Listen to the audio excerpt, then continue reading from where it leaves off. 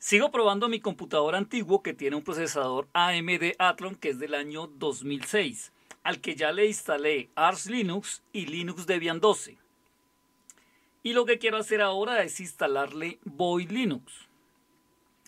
Recordar que a este equipo o al disco duro de este equipo le creé una tabla de particiones tipo GPT.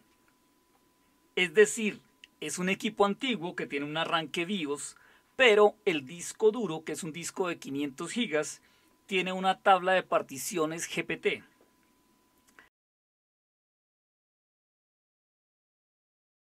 Por ejemplo, si yo doy el comando lsblk, el disco duro interno sería el disco SDA, es decir, slash dev slash SDA. Y es un disco de exactamente 465.8 gigas y tiene 10 particiones desde la SDA1 hasta la SDA10. Ahora con el comando cfdis puedo ver un poco más de información de las particiones. Por ejemplo, la primera partición SDA1 es para que funcione el gestor de arranque group en un, en un disco GPT de un equipo antiguo con arranque BIOS. Las particiones 2 y 3 ya tienen instalado Arch Linux. La partición 4 tiene instalado Linux Debian y la partición número 5 hice una instalación con un sistema operativo o una distribución llamada Rhino Linux. Ok, lo que quiero hacer entonces es instalar Boy Linux, pero como saben que me gusta complicarme un poco más la vida, quiero probar LVM o LVM, que sería Logical Volume Management o gestor de volúmenes lógico. Y voy a usar para esto las particiones 6, 7 y 8. Es decir, SDA6, SDA7 y SDA8. Ok, y voy a crear los volúmenes lógicos por línea de comandos, como siempre. Pero antes voy a explicar un poco en qué consiste LVM. Entonces, el EVM lo podemos representar como un sistema de capas en que la primera capa tenemos o en una capa inferior tenemos las particiones físicas del disco duro. Entonces, en este caso serían las particiones físicas SDA6, SDA7 y SDA8. Y a este primer nivel o a estas primeras particiones físicas se le llaman Physical Volume, PV. Y luego sigue una segunda capa en la que tenemos o en la que se llama VG, es decir, volumen group, y el VG o VG se crea asignando uno o varios PB. En este caso yo voy a asignar los tres PB que serían las tres particiones SDA6, SDA7 y SDA8 a una única o a un único VG. Y luego tenemos una tercera capa que se llama LV, que sería Logical Volume o volúmenes lógicos. Y lo que hacemos es que tomamos espacio de la BG, es decir, de la capa número 2, y creamos uno o varios volúmenes lógicos. Ok, esto sigue siendo un poco confuso, pero voy a darlo con un ejemplo preciso. Entonces voy a tomar tres particiones que serían SDA6, SDA7 y SDA8. Estas tres particiones van a ser los tres PB. Luego los tres PB que acabo de decir los voy a unir en un solo VG. Y este VG entonces va a tener 180 gigas de tamaño. Y finalmente voy a crear nuevamente en una tercera capa, voy a crear dos volúmenes lógicos. Que va a ser un volumen lógico de 30 gigas, que sería para la raíz de Void Linux. Y un volumen lógico me sobrarían unos 150 gigas, pero lo voy a hacer de 140 gigas y este sería el volumen lógico para el home de Boy Linux. Y me van a sobrar unos 10 gigas que los voy a utilizar tal vez para seguir probando otros comandos. Pero por ahora voy a crear entonces dos volúmenes lógicos, uno de 30 y uno de 140 gigas. Ok, ahora sí empezamos con los comandos. Entonces, si yo doy el comando pbscan o sudo pbscan, entonces, como el comando indica, sería como escanear cuántos volúmenes físicos hay o cuántos pb tengo. Por supuesto, en este momento no hay ninguno asignado porque no tengo ninguno asignado, no, la lista aparece en cero. Entonces, el comando para crear los pb sería sudo pb create. Y aquí entonces doy sudo pb create espacio y los nombres de las tres particiones, es decir, slash dev slash sda6, luego espacio, slash dev slash sda7, luego espacio, slash dev slash sda8.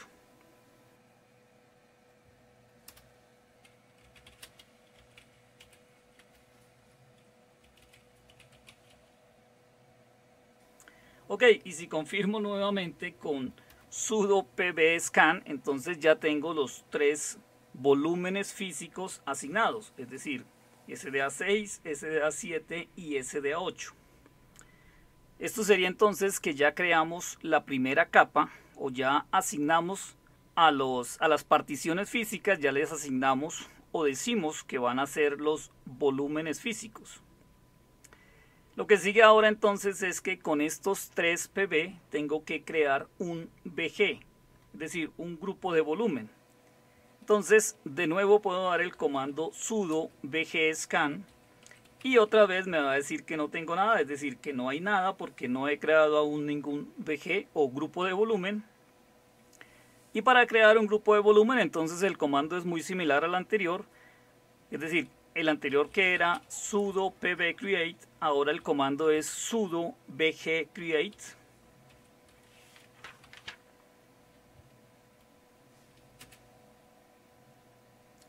Entonces, el comando en sí es sudo bgcreate espacio y un nombre, es decir, el nombre del volumen que quiero, que le voy a poner aquí grupo-medio void, espacio y los nombres de los tres pb que tengo, que serían slash dev, slash sda6, espacio, slash dev, slash sda7, espacio, slash dev, slash sda8.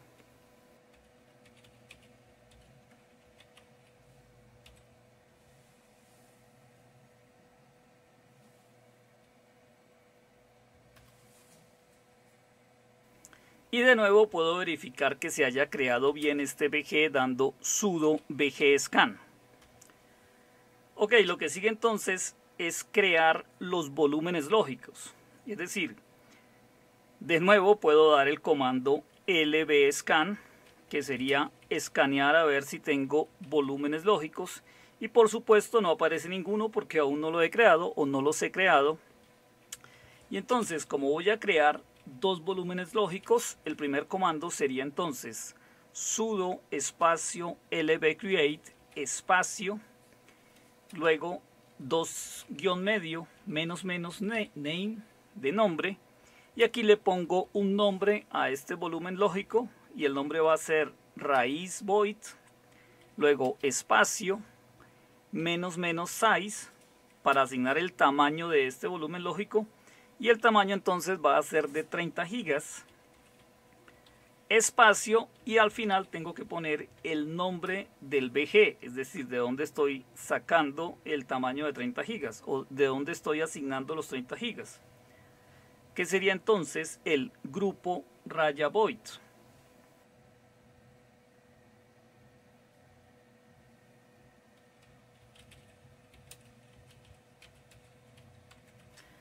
Y aquí entonces si doy de nuevo lbscan, ya se lista este primer volumen lógico que sería raíz guion medio void.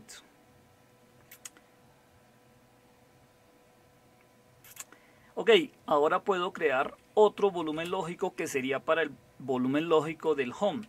Entonces, el comando es muy similar, solamente cambiaría el nombre. Entonces, en vez de el nombre, no, no va a ser raíz void, sino home raya void y el tamaño que lo asigno sería de 140 gigas y tengo que seguir sacando el tamaño o, o el espacio reservado dentro del BG que llama grupo void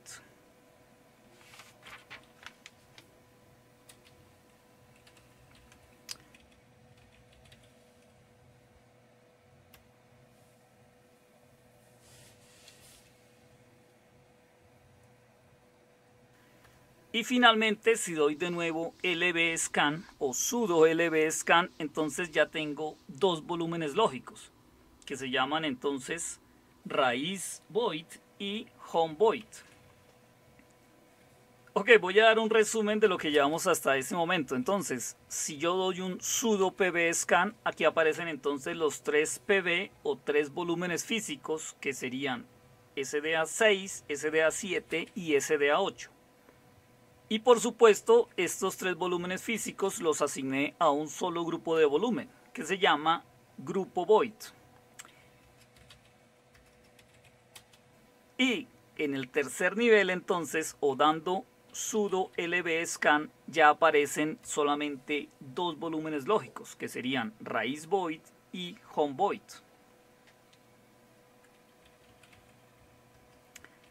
Y finalmente, o finalmente, los dos volúmenes lógicos, raíz void y home void, son los que voy a utilizar para hacer la instalación de Void Linux. Entonces yo puedo también con LSBLK podría mirar la relación que existe entre las particiones físicas, es decir, entre SDA6, SDA7 y SDA8, con las particiones lógicas, es decir, con los volúmenes lógicos.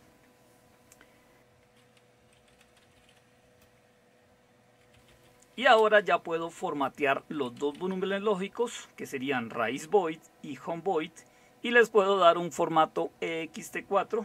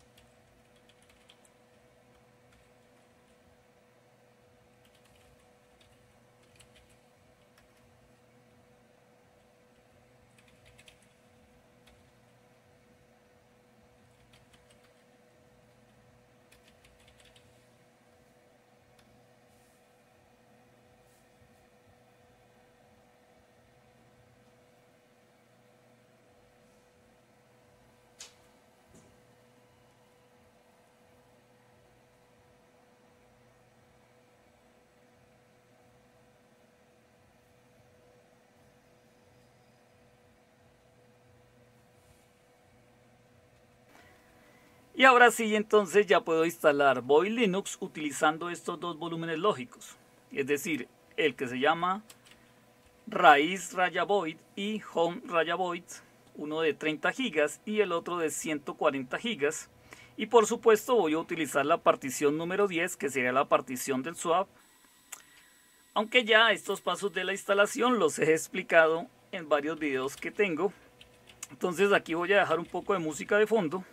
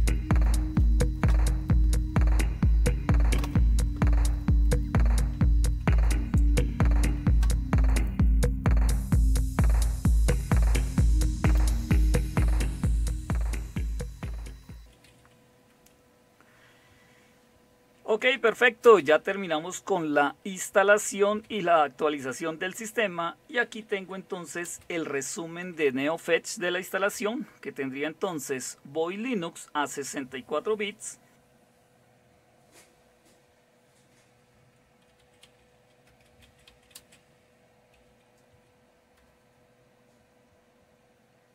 Y estamos utilizando o estamos en un equipo antiguo que tiene arranque BIOS pero el disco duro tiene una tabla de particiones GPT y adicional a eso la instalación la estamos haciendo utilizando LVM, gestor de volúmenes lógicos,